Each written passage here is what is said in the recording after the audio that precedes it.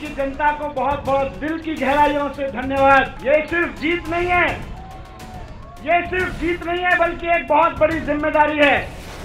दिल्ली को साफ़ करने की ज़िम्मेदारी, दिल्ली को चमकाने की ज़िम्मेदारी। तो मैं इसके लिए सभी कार्यकर्ताओं की ओर से हमको लीड करने के लिए अरविंद केजरीवाल जी को भी धन्यवाद करना चाहता हूँ कि उन्होंने अपने विजन से, अपने कार्य से, अपने दूरदृष्टि से देश को एक ऐसी राजनीति दी है।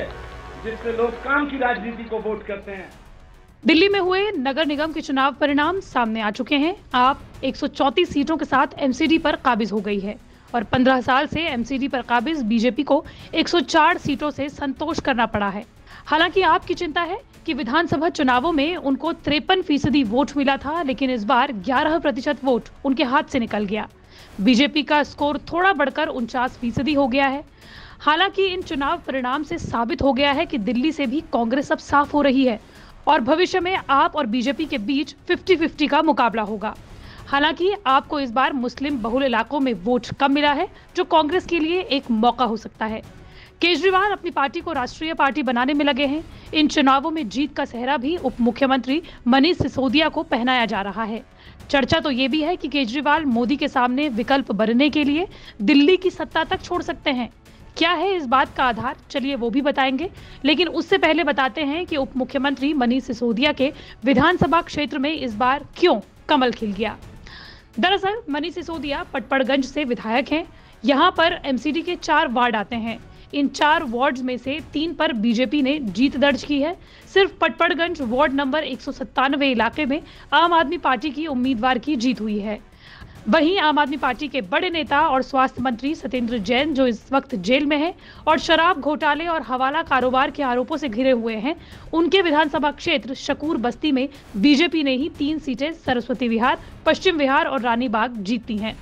इसके अलावा आतिशी मार्लेना की सीट कालकाजी से भी तीन वार्डों में बीजेपी ने ही जीत हासिल की है। हालाँकि एक बात जो इस जीत के साथ उठने लगी है, वो है कि क्या मनीष सिसोदिया दिल्ली के नए सीएम बन सकते हैं? दरअसल हिंदी दैनिक अखबार, दैनिक भास्कर के मुताबिक, मनीष सिसोदिया को दिल्ली में और बड़ी भूमिका मिल सकती है। एमसीडी का चुनाव आम आदमी पार्टी के लिए इस वक्त एक चुनौती भरा था, क्योंकि गुजरात में भी ठीक उसी वक्त चुनाव हो रहे थे। और हिमाचल प्रदेश में भी ठीक उसी वक्त चुनाव थे।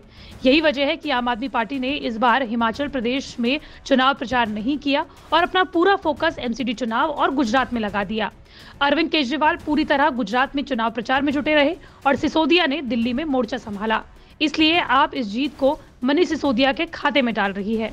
आम आदमी पार्टी के सूत्रों के मुताबिक इस जीत के बाद सिसोदिया को दिल्ली में बड़ी भूमिका मिल सकती है और मुख्यमंत्री अरविंद केजरीवाल राष्ट्रीय स्तर पर बढ़ने के लिए मुक्त हो सकते हैं। सिसोदिया के लिए ये भूमिका मुख्यमंत्री पद की हो सकती है। हालाँकि पार्टी गुजरात के नतीजों का इस वक्त इंतज़ार कर रही है। वैसे एमसीडी के रिज़ल्ट में सिर्फ़ आप ही आप है। अरविंद केजरीवाल की आम आदमी पार्टी की झाड़ू आसमान चूम रही है।